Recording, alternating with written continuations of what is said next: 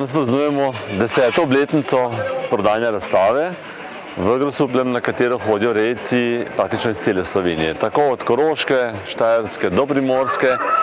In, jih, in to razstavo imajo na svojih koledarjih vsako tretjo soboto v mesecu in je res postalo takšno tradicionalno mesto druženja rejcev malih pasovskih živali, se pravi perutnine, kuncev, golobov in okrasnih ptic, predvsem papik in kanarčkov ter drugih sobnih ptic. No, na tej razstavi pripravimo prostor, kjer lahko rejci prodajajo, menjavajo svoje ptice. Poleg tega pa imamo bogato založeno prodajalno z hrano in opremo, kjer si lahko kupijo vse potrebno, kar potrebujejo za svoje živali, hrano, opremo, dodatke, seveda tudi zdravila, ker je v sklopu veterinarske ambulante, tako da rejci res lahko dobijo vse na enem mestu. Razstave so namreč samo v jesensko-zimskem času, ta sejem pa poteka preko celega leta. In kot vidite, so ga reci lepo sprejeli, pa ne samo reci, tudi ljudje, ki si želijo kupiti svojo malo žival.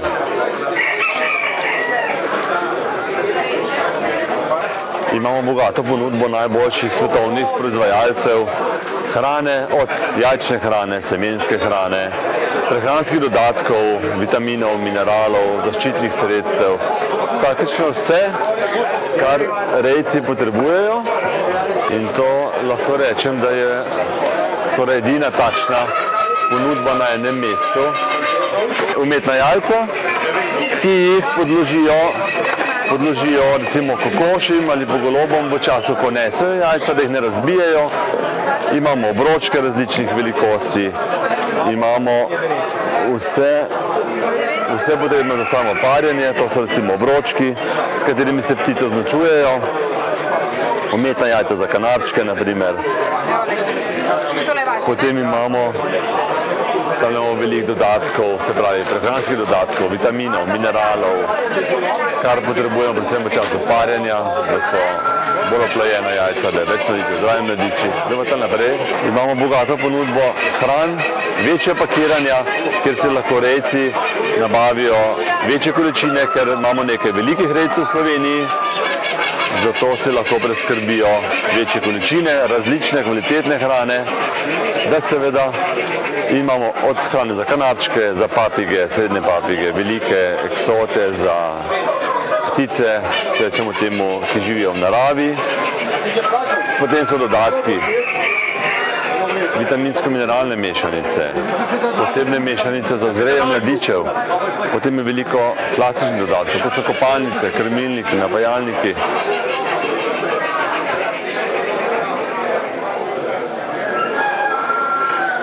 To je bogata ponudba gnezd, gnezd in opreme za gnezdenje. Vemo, da značilnost ptic je, da si naredijo gnezda, mi jim pri tem pomagamo z dodatki, da lahko vzrejem mladičev potem poteka nemoteno.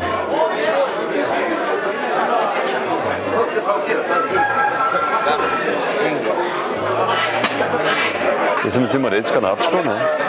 Ja, in če ne, ne moreš poznati te problematike, veš. Moraš, moraš biti v temne, moraš biti v temne. A to ne zgleda pol? Ne.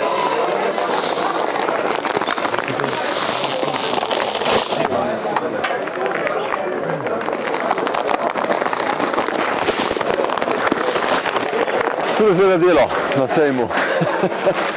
Tudi fizično, treba je pripraviti, treba je vsakič. Ker prej se je to hodilo tujino, zunaj imajo teh sejmov velikne. V Sloveniji pa ni bilo enega takega sejma. In potem smo takrat kupili tale šotor in smo rekli, da imamo neko vsebino in je bilo to tako naročeno za tole. Ne? Res sta prav plac. Ne? In tudi vidiš živali. Vse, ni da ni, lej. od kokoš, a si šel kaj okoli pogledati? Imamo bogato ponudbo hrane, tele za, tele za golobe, bogata je tudi za golobe ponudba, od hrane, opreme, tudi za uh, drugo perutnino, se pravi za kokoši, za fazane, za vodno perutnino, se pravi race. To je praktično za vse te rejce, ki imajo te živali. ne. Golobe so še hrani. To so vse golobi, ne? Njih odganjajo. Ne, to so drugi golobi. To so poštarji, okrasni, te pavi golobi. Ja, ja, to niso, to niso te mestni. Ko so pa to zdaj kure, ki so Telo? Tele, ne? Tele so, če bom ga vprašal. To so indijske tekačice.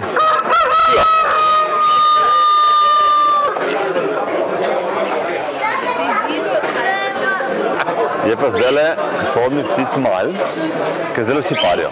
kaj golobčki. To so grlice. To so grlice, ja. Zdaj le vsi parijo in zdaj je praktično ponudbo kanarčkov zelo omejena. Ne? Je papiga? Ja, ja. Zagrlice. Domača žival. Ja, ja. To so tudi doma gojene.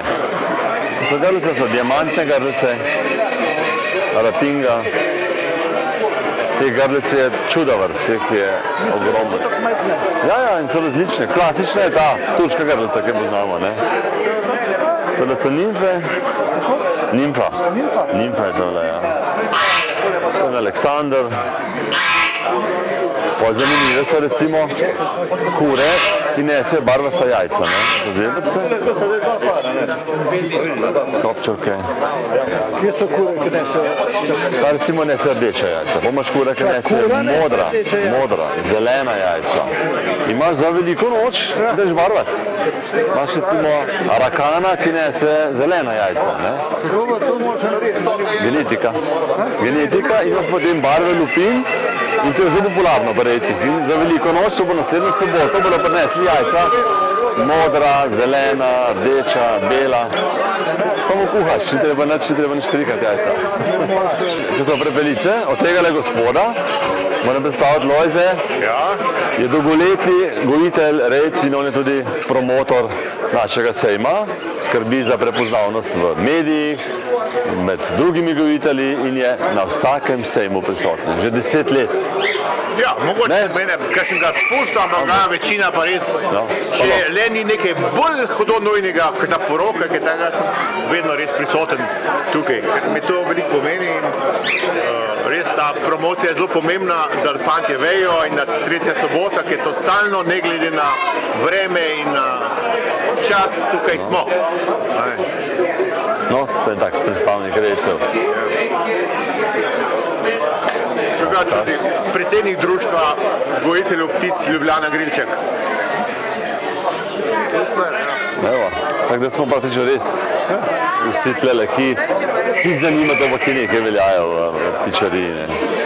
Ja, Je pa tudi rec, rec grlic, lahko povem, da je svetovni prvak v, rej, Ja, v dobil prepelici. zlato medaljo Ja. na nizozemskem eh, za prepelice, ena vrsta ameriških prepelic, virginijska prepelica. A je tukaj? Ne, ta je v drugi barvi, ampak taki so one. Tole ta malo. Evo, desna. Svetovni prvak, ja. Samo to, to je v rumeni barvi, one so lepa v beli barvi. Konkretno one niso tukaj. To so tele kurje, te velike. So, Tu je ta velika kokinkina, ta rumjana, uno je pa Orpington. Aha, Kokinkina pa Orpington. ja. Kako? Kokinkina To je petelen. petelen, ja. On je pa Orpington. Iz kje to izbira? Bo povedal, dej. Je indijska, verjetno indijska. To so pasme, ki je so iz Kine, verjetno. Ja, je barijo. Pa ste bili tle, gledajte. Je to? Vidite, Ne, predajte. ne, ne vem, če je. Ja, hvala. Bom, bom prišel okoli. Teh vrst rodine je čuda, ne. to je nešteto. In da pa tekmujejo z njimi in na razstave hodijo in so vsi ponosni. To poznaš, kaj je to Rex. Rex.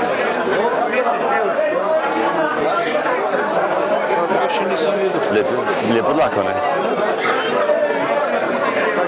Gremo še okolja. Ja.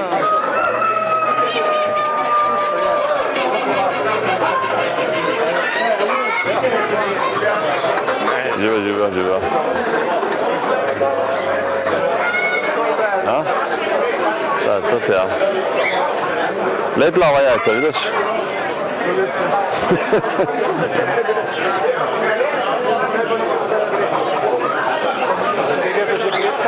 Že prenehne, mora že več.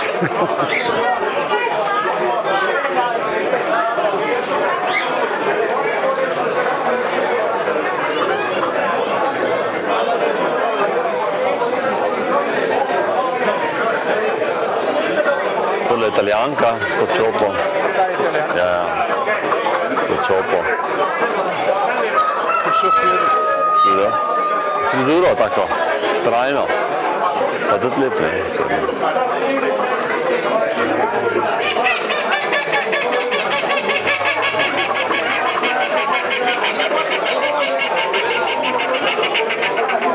Viš plava jajce, ne? Imaš take barve različne pol.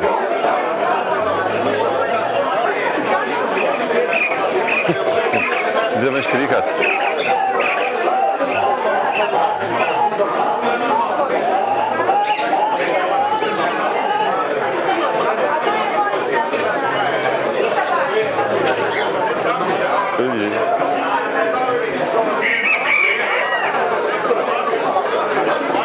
Petlikavi konci, te so pa v stanovanju že na tretjem mestu, takoj za psi pa za mačkami. Jih imajo veliko ljubljencev.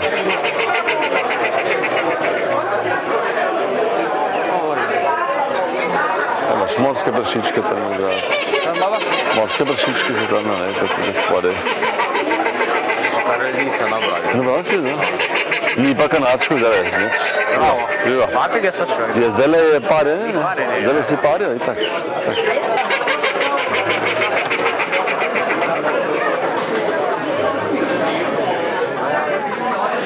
To je v bistvu edini tak sejem v Sloveniji, ki je reden vsak mesec.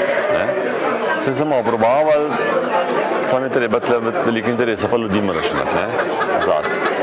No, ta je pa zdaj 10 let vsak mesec. 121 je zdaj že. No, to je pavi golob, čas smo rekli pavček, ne? Ale ne? Terjav. Ne, ta je bil. Ja, s tem repom. Ja, pavček je, to je pavček je. Se lepo šopiri. Pa lepo, če jih imaš doma tako na vrtu, veš, pa pol. Rad po tle hodijo, ne? Ja, ja. Zbeži. Ne, ne grem kamor. Edin kragov se navad. Pa ga golove. To so govšari, govšar. Da se napihuje, pa tudi ke stava, ki je tekmovanje, se mora napihovati, mora biti tak ponosen. Ne. To je pa slovenski beloglavček, to je pa edina slovenska pasma goloba, slovenski beloglavček.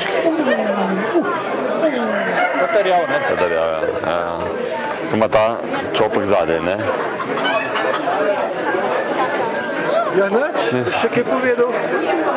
Vesel sem, da smo preživeli prvih deset let, da se je zadeva lepo prijela, reči so zdaj za svojega in imajo vsi na svojih koledarjih označeno tretjo soboto v mesecu, kar pomeni, da tretja sobota pripada sejmu, pa smo imeli po zimi v tahunem snegu in so prišli iz Koroške, iz Primorske, tako da res so sejmu vzeli za svojega in seveda to je za dušo našo, tudi ambulanta je, jaz sem specialist za male živali, se pravi ptice, plazivce, male zasavce in to mi je res v veselje, da se lahko tudi zdaj družimo vsak mesec.